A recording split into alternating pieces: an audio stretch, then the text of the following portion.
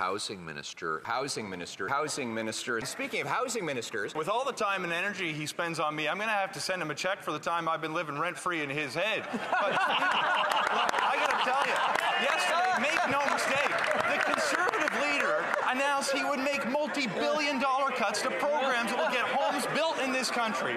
Now, he knows that, and we can agree on that piece. What he doesn't know is his caucus colleagues have been going behind his back, writing me letters advocating for their communities to receive oh. funding through the Housing oh. Accelerator Fund because they believe it will get more homes built. My question for the conservative members of his caucus will they have the courage to stand up and tell him he's wrong?